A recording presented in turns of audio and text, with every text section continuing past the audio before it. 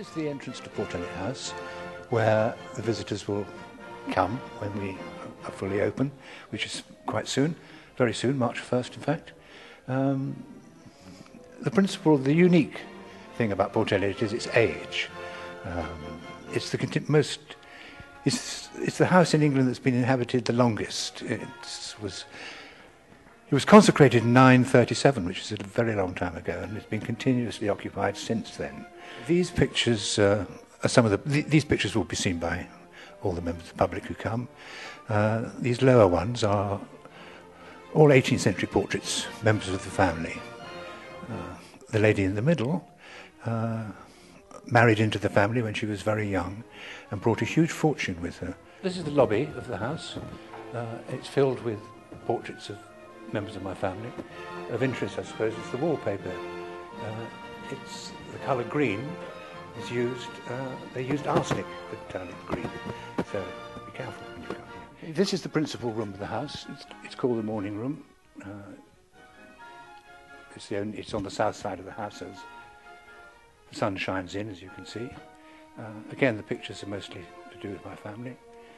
The fabric on the wall is mid 19th century crimson damask. Uh, big picture over the fireplace is by Van Dyck.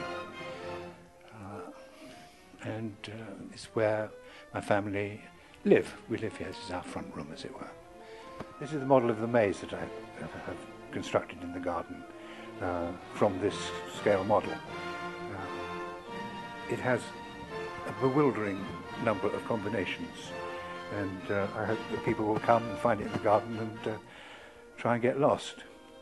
Um, I have a motto, a little motto that goes with it. It says, Enter those who wish, leave those who can. So here we are in the saloon, um, looking down the length of the house to the drawing room. These two rooms were originally the refectory when Port Eliot was a monastery.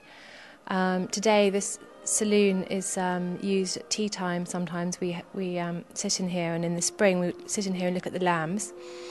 The saloon is dominated by portraits by Sir Joshua Reynolds. Um, there's some very early works of his here of great national and international art historic interest. Um, they're all family portraits. Um, he was a friend of the first Lord Eliot, Edward Eliot, and in fact, Edward Eliot was one of his pallbearers at his um, state burial in St Paul's Cathedral. Um, this is a classic English room, the saloon. There's, everything about it is English. The carpets are Axminster. The writing desk is a Carlton House writing desk, which is a very traditional English piece of furniture. The vase is above the bookcase, uh, Wedgwood, very early ebony Wedgwood, um, which was extremely rare and interesting to people who are interested in Wedgwood. Really, the the best thing about this room is the view from the windows, which is the most perfect English view of um, Port Eliot Park, which was landscaped by Repton, Sir Humphrey Repton, in um, the 1790s. And it never fails to enchant you when you're sitting in here. Every time you look up, the view is slightly different, and it's just beautiful.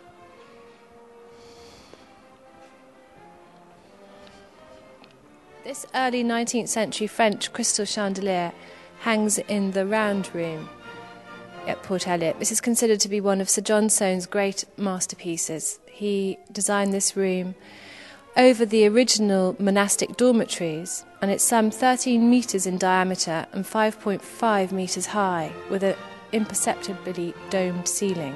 Um, it's an absolutely glorious room, and in the 1970s, my husband decided it should be decorated. It had been used for most of the 20th century as a junk room, unbelievably. But the only way he felt he could really decorate it was by commissioning an artist to paint it. And he stumbled across the Plymouth artist Robert Lenkiewicz and um, entreated him to come and see the Round Room. And they then began a 30 year collaboration.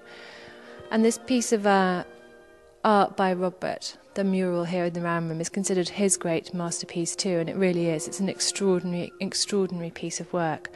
Um, the mural depicts the condition of man, where on one half of the wall um, he presented loneliness, unrequited love, corruption, insanity, death, whilst on the other side of the wall of the room there's harmony, proportion, love, friendship, hope, passion, truth, and beauty. Um, it's a conundrum, this mural, and one that only really Robert could explain. And sadly, he, he's no longer alive, but it always haunts you when you're in here, and it's the most magnificent thing. Also, in this room, there's a carpet which is um, rose madder coloured, and it's by Aubusson. It was originally housed in a Russian palace and then sold by the revolutionaries in the 1920s.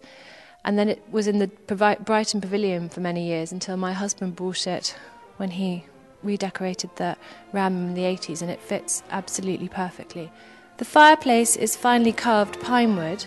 Um, it was originally found in a cottage on the estate, the Shepherd's Cottage, an ornate little cottage.